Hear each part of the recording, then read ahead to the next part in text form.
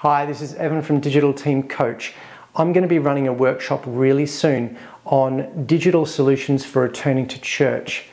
I know many of us are really eager to be able to go back to having people inside our church services, inside our church buildings, and there's a lot that we need to factor in to be able to comply with the government regulations and to make sure that everybody is safe that we're monitoring who is around and recording details correctly. I've done quite a lot of work around figuring out what the best systems are based on lots of different factors.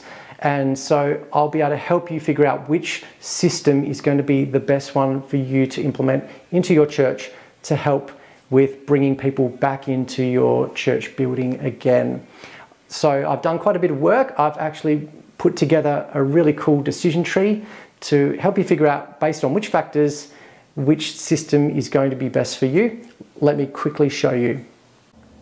And here's a decision tree on how to figure out the best system for returning to church for your check-ins, for your pre-service registration. We're looking at factors like whether you have a church management system, whether you need name tags, whether you need to be able to um, sign in people outside of Sunday services, uh, if you need name tags, if you want free, if you want easy to use, there's a whole lot of factors involved and the systems that are available for you.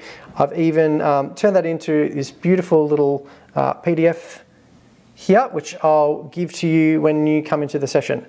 So I hope that's really useful for you. I would love to have you come along to this workshop where I can really go into detail around what the regulations are, what the factors are that you need to consider for your church to be able to bring people back and then the best system to implement around that. So come along to the workshop. Details are below, register below, and I look forward to seeing you there.